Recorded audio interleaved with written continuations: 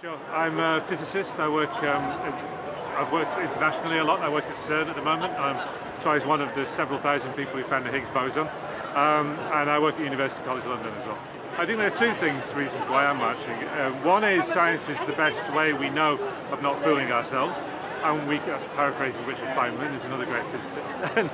and um, I, think that uh, we can't afford to be fools anymore. We've got the technologies that science has put our, within our grasp, within our power, and the society we've constructed around them. I mean, we have to pay attention to the evidence and the facts, and we have to do our best, honestly, to do good science. So that's one of the reasons. The other is I've worked internationally a lot and I've seen what we can do when we work together to a common goal with mutual respect and it's fantastic. It's a lot more than the sum of the parts and it's something to be really proud of and I think there's a tendency at the moment maybe to retreat into nationalism and isolationism and I think I want to speak out against that really. It, it's very humbling when you see in the data nature telling you something um, fundamentally new and interesting and important about the way the universe works. And at the end of the, the very abstruse theory, huge amounts of technology, years of collaborative work, in the end it boils down to is there a bump in this plot or not, and you see that bump appearing incontrovertibly, it's just a fantastic feeling. Good afternoon, my name's Jon and I'm a particle physicist. Thank you. So I'm going to start with a quote, or at least a paraphrase, from one of my heroes in science, Richard Feynman.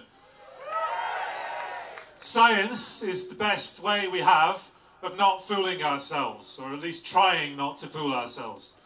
And that's really, really, really important right now. we we live in a hugely complex society. There's the technologies to do amazing things.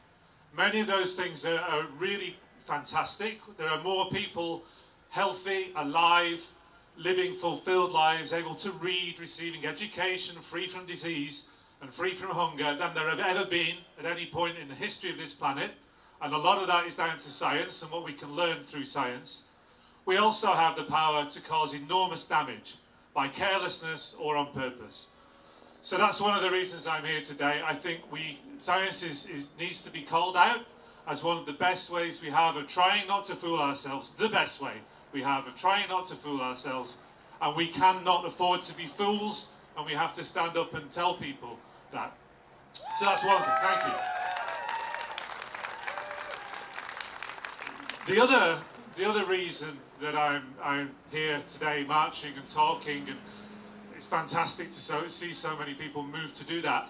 The other reason, the main reason I'm here, is that I spent a lot of my career working in very international environments. I work at University College London at the moment up in Bloomsbury. Very, very international environment there. I work at CERN in Geneva, which is a completely international organisation. I've worked in Hamburg at a big lab there. I've worked in the United States. The one, me one message that comes through all of that is when we work together for common goals with mutual respect, what we can achieve is wonderful. Now, you've heard about the practical applications of science, which are really important. As a particle physicist, we don't really do them. I mean, we invented the World Wide Web, but let's leave it there.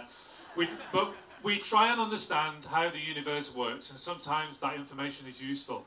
I was part of a team of 3,000 people, rivals with another team of a similar number of people who found the Higgs boson a few years ago. If, thank you. Cheer for the Higgs boson. Yeah.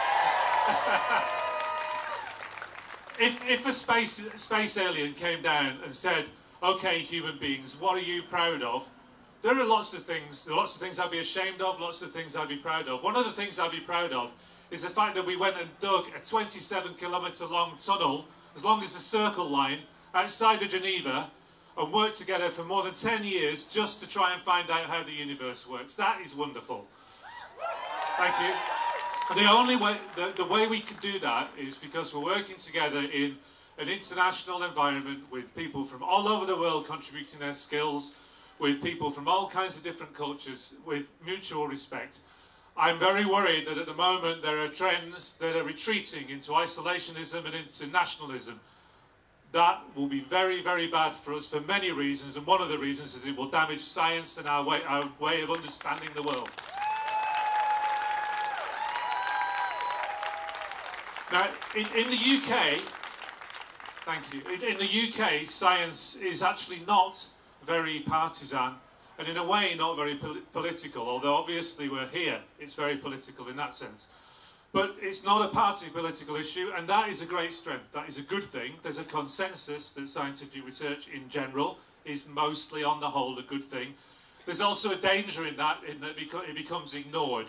And back in 2010, Science is Vital, we're here trying to make sure it would not be ignored.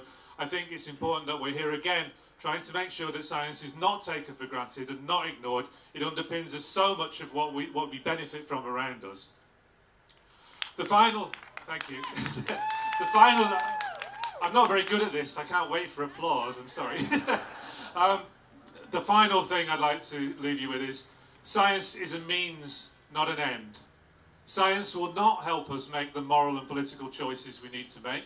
Well, it will help us make them in that it will provide the evidence and it will show what the options are in the real world, not in our fantasy worlds over there somewhere.